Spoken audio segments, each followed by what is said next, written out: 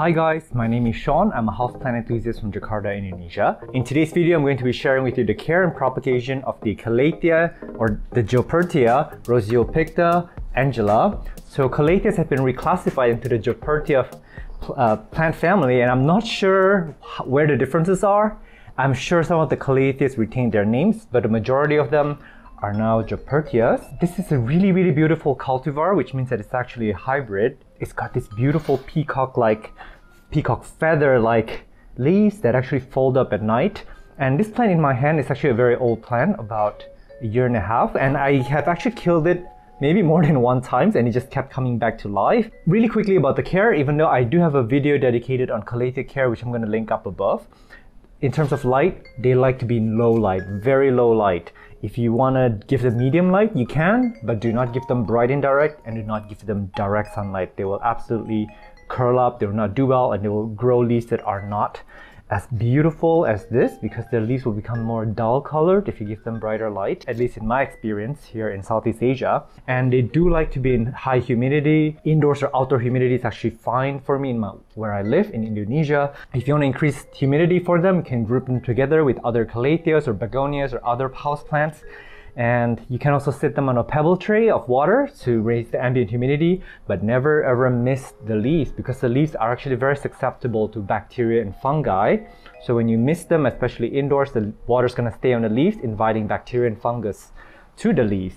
In terms of watering it has to be paired with my potting mix guide because I actually give this guy my forest floor potting mix uh, which I'm going to link up above what it's made out of. But you can also replicate the same kind of potting mix by doing something really, really airy. So a lot of perlite, and in my case, I even do terracotta pot with holes in them. This is because in my climate, where it's like 60 to 90% humidity, they actually rot very easily. So again, depending on where you are, the care is going to be very, very different. But in my case, very airy potting mix, very airy pots. They love that. And I water them very frequently. This one gets hosed down, I would say lightly about twice a day. I just take my hose and just aim at a general area basically and it's doing really well. It really likes that kind of setup. So it's always going to be humid, but there's going to be air movement around the roots. That's the kind of condition they like. You do not want to be dried out at all. And some people say that tap water or minerals in tap water may actually crisp the leaves. As far as I know, my water is not really that highly treated. It's probably just groundwater that's just pumped back up. Probably filtered though. I'm not sure. I don't really know what my new home water and they are actually quite prone to spider mites. Uh, so this guy actually, I don't know if they actually did have spider mites or not, but some, whenever I look at this red back here, I'm always like worried, like, is there little specks on it? Is there tiny little things that move? Because um, I'm not sure, I can't remember exactly for this one, but for the other Calatheas, they are pretty oftentimes attacked by spider mites. Then the way that you would treat for that, I'm gonna link a video up above on pest control. You can do chemical means, you can do natural means. And today I'm going to propagate this guy. This is actually two plants. I don't know if you can tell from here. So the tip, if you want to get bushy calatheas, which we all do, we want these massive pots of calatheas, you're going to need more than one calathea in a pot. So one plant actually looks like this. It kind of looks like a banana tree. I don't know if you know what I mean. It's like left, right, left, right. So it's going to have continuous growth that way. And then you're going to have nodes where the leaf would die off before. So that is actually one stem of a plant, which we will probably look at when we propagate this later. They will also shoot out rhizomes horizontally down below. So that's gonna put out more pups, more babies.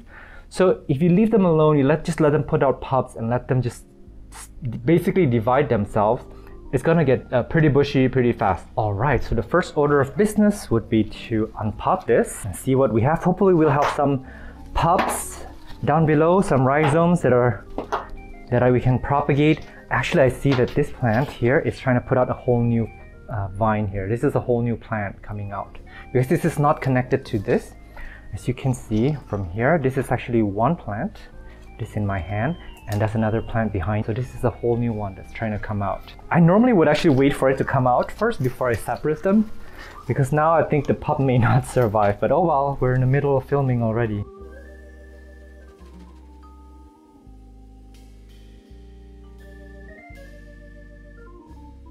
Not a lot to work with. I guess this can be its own plant. Hang on. So if you see here, this is not belonging to this clump, so you can break this off and it can become its own clump. There you go. And then down here, what I'm gonna do is I'm gonna cut this right here. All right. So I've essentially basically taken this apart. And normally if I was a professional, I could probably cut this even more. It's a little tuber here. You know what? I'm actually gonna do it. it can become its own plant. They're kind of like gingers, basically. Imagine what ginger shape looks like. This little thing, it should put out something, some, some new growth out of it. If I, it has growing eye, just chop it up, cut it up. Yeah. And just to be a bit more greedy, one more time. I'm basically cutting it up like crazy. So this is like, imagine like a ginger root, basically. Fingers crossed on this one. All right, so we've got this one top cutting that I'm gonna just plant back into its uh, pot here. Now because it lost a lot of its uh, foliage, I'm not gonna pot, I'm gonna, I'm gonna not bury this too deep in the potting mix so that it can be a little bit more airy and fluffy as I don't want to overwater it. Yeah, maybe like this shallow will do. They don't need a lot of soil at this time. I may add a little bit more as they, it grows older, uh, bigger. And this other one, I'm gonna pot it right here in the plastic pot. I need to be careful with plastic pots. Do not overwater. It's got less places for the water to, for the moisture to run into the escape. Kind of a mental note to myself because I am an overwaterer. And I wanna keep these cuttings in a dry, not dry, in a low light area. For all these rhizomes, what I'm gonna do is I'm just gonna bury them. They're not too deep though. You don't wanna you don't wanna suffocate them. They do need to be somewhere near the surface of the potting mix. Normally I would plant these all in different pots, but I'm running out of pots, I'm running out of space. So I'm just gonna cram them all in, in one area. I just keep them nice and loose and airy in here and I just want to keep it humid um, inside. So not compacted, not soggy, this one I'm afraid to mess with because I don't want to lose this little guy here. This little growth point. It looks like a beautiful plant that will come out of it. You know what, for this one, because it, look at how beautiful the top is. This is gonna be my parent plant. I'm gonna leave it alone. I know this is a pretty conservative propagation for me. Um, so yeah, we've got this parent plant, which I'm gonna pot up in here. And then top cutting, this is a separate from the top cutting, and we've got two of these cuts. And I guess I will see you guys in a few months. Here is a two months update. I think we have one new leaf that came out. Can't remember which one it is. This one. This is the new leaf that came out. It's pretty big actually from this parent plant or the, the top cutting rather. And this one cutting is put out a new leaf it's going to unroll anytime now. And that one is not doing anything yet, but it's very much alive after two months. And all these baby, nothing has happened yet. So I'm gonna give it more time. I'm gonna give you guys an update. But it's been raining every day. So yeah, I hope I didn't rot any of these plants and this is the smallest one of the cutting. And actually these guys do like low light. Um, and these guys are putting out leaf after leaf. I did notice that they put out a leaf but then a lot of them would die off. This beautiful new leaf here. Um, but again they do like to be in low light to bring out these beautiful reds beautiful vibrant colors. Um, but I, this may have been a little bit too much water too much rain for it.